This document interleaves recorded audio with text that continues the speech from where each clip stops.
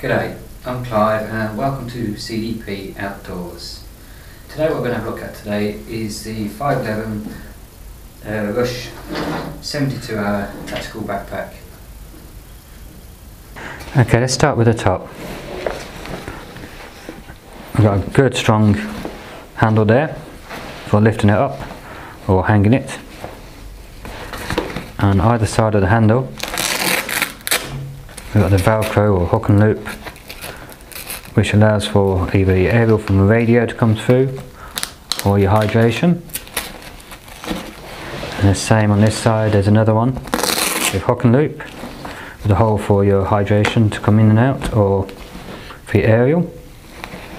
Material, it's a 1050 Cordura material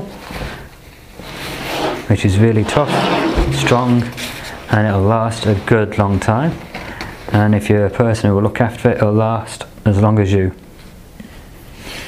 This bit here we've got a small zip and in this zip is a small pocket and it's got the, the fleecy pocket on there for whether you want to put your glasses in there, your phone in there.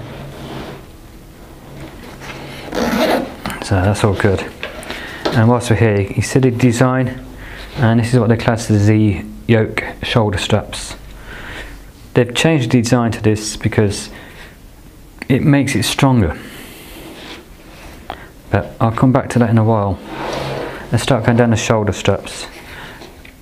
We've got all your MOLLE system coming down the shoulder straps so you can attach your small pouches onto there. Same on this side. We have your chest strap on there which is easily adjusted just by unhooking it and moving up to the next one and hooking it back on.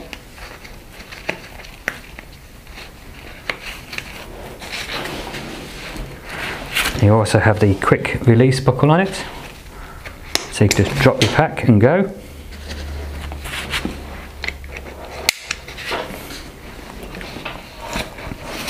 And then coming down to, again your waist belt has got the MOLLE system on, so you can attach your small pouches. On this side I normally carry my canteen, and on this side I normally carry uh, another pouch with my cook kit in a nice strong buckle easy to use some good strong quality straps there with some good stitching doubled over nice and strong if you don't want to use the uh, waist belt what you can do is just simply roll it up and tuck it in here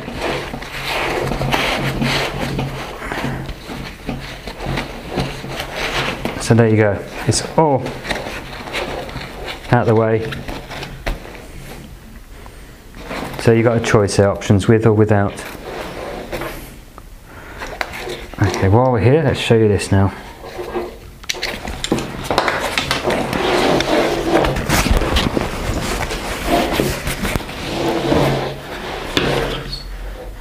Now we have a drain hole here. And these two smaller patches you can see are like a rubber material. And they've got all it's like little bits on it.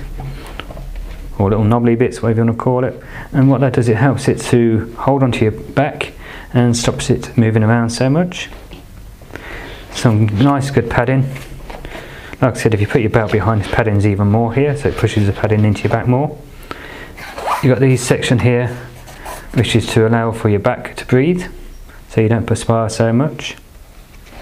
And again for your shoulder blades there's some more padding. And we have another zip here, you can open from either side. And what you goes in here is your hydration pouch. And this will hold up to a 3 litre hydration. And your actual hydration hose will go through here, it goes into your pack and out of the holes on either side of the handle like I showed you earlier. And then down onto your shoulder strap.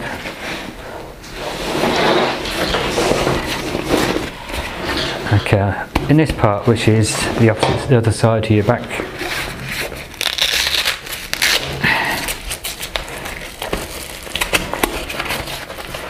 We have a plastic frame that holds the shape of the pack. And that's got I believe it's an aluminium strip going down. So you can remove this if you don't want it or if you want to change the shape you'll just bend your aluminium here to make it fit your back better.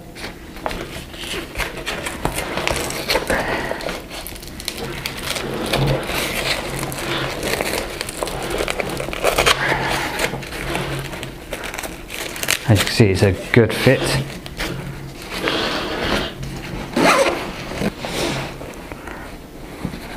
So we've got your first compression strap at the top, another good buckle. You've got a, a row of MOLLE, and then we've got the pocket. Starting from here, and at the bottom there's another compression strap.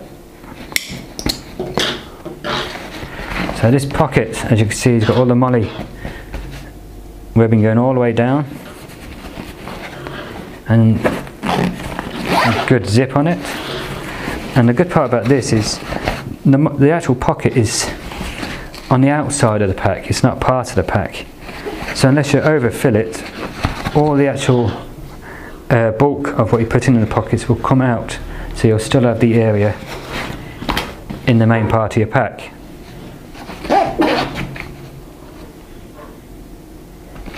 And in each pocket we have two other organiser pockets here and lower down too.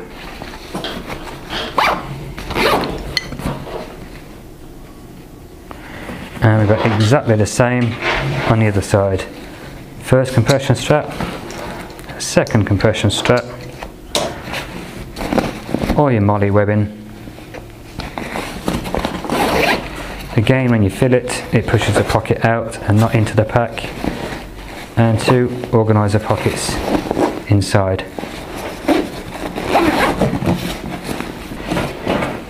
On the back of your pack, you've got another organiser section. But in between there, you've got another storage area. So in here you can put, I don't know, wet tarp, dry tarp, coat, jumpers, anything you want. But as we do the compression straps up, that pulls that in to make everything you're carrying there nice and secure.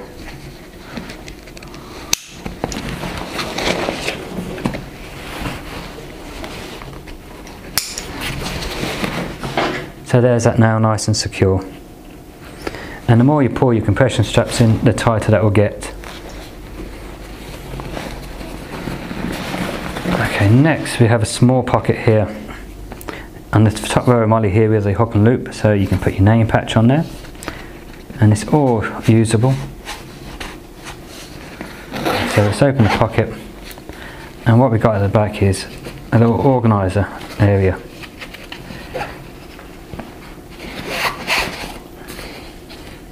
And in the front there's another mesh one. And the good thing about the mesh, you can see what you got in there. Once you've got something in the back there, and then the organiser bit here as well, the mesh, it doesn't leave much room here, only about, what, probably half an inch, just enough to fit your phone in.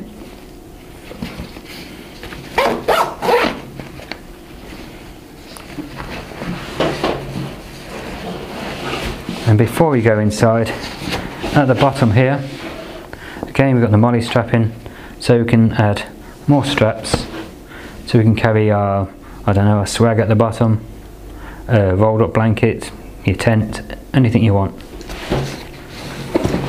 So now let's get into this front organiser pouch, or this front organiser pocket. Again, you can see we've got all the MOLLE on here, and it's all usable. Another hook and loop patch for your morale badges or anything you want some good. This is what I didn't say on the rest, but these pulleys, just to open the zips, makes it so much easier and there will be no trouble when you're doing that with your gloves on either. So let's start with this part first. As you can see you've got some good area. Down here I normally keep a, a ground sheet or a small tarp We've got another mesh pocket at the top with a zip on. I'd uh, kept my paracord in this bit, I used to. Uh, I think they call these in magazine pouches, so you can keep your magazines in there. And both with the straps and hook and loop to keep everything in place.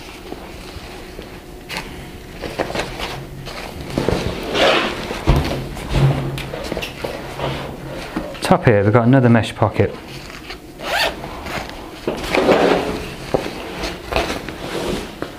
So all good for organising things.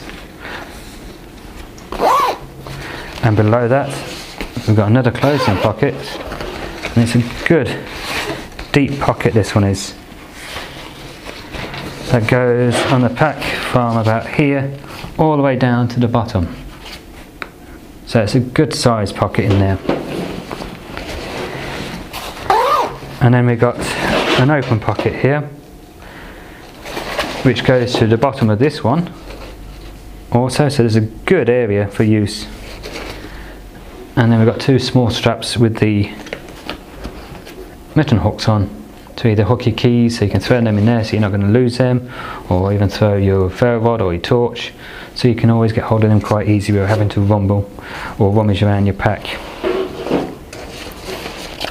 So here we've got another two pockets with the strap with the hook and loop on and then pockets are probably what's that four or five inches deep but they're expandable so you can get some fairly decent amount of gear in there on both of them behind this one we've got one big enough say for a multi-tool. And on this side we've got three smaller slim pockets similar to your pen holders. So that's really handy for organising everything. So you could fit a ferro rod in there or even one of your tactical pens anything you want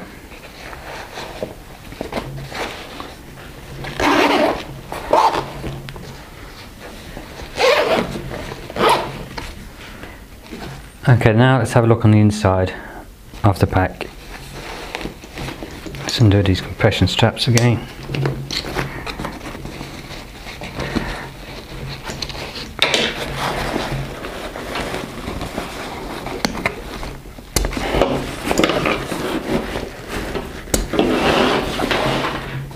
So we've got the zips, two zips on it.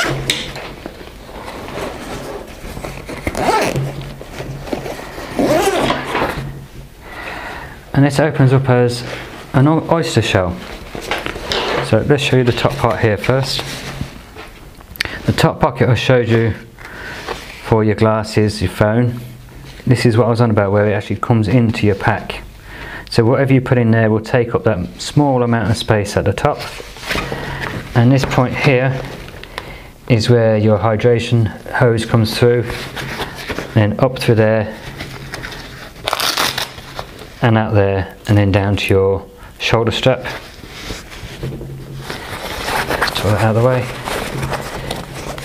First thing you'll see is we've got a mesh pocket here, a fairly large one taking up roughly, I don't know what's that, two fifths of the space of the pack or the size of the pack and you can see through and that's a fairly decent size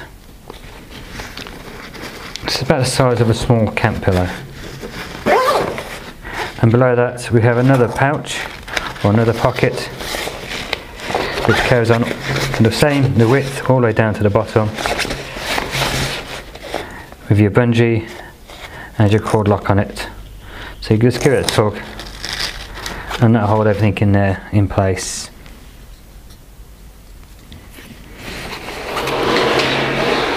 And now coming to the other side. So this is the side where you've got your organiser pouch on the back and your small pocket. We have one pocket at the bottom which is big enough for again for a small pillow. I used to keep my down pillow for my hammock in there and kept it all lofted up. Above that we have another mesh pocket with a single zip at the top good sized pocket for organising your, all your gear. And the third pocket is on this side. We have a zip at the bottom so we can gain access when we've got the packet open. And we also have a zip at the top. So if we just want to open the pack and grab something out, like uh, for example hydration, or not your hydration, your water filter kit could go in there. So you just open the top you can grab it from there. So as you can see, that pouch goes all the way through.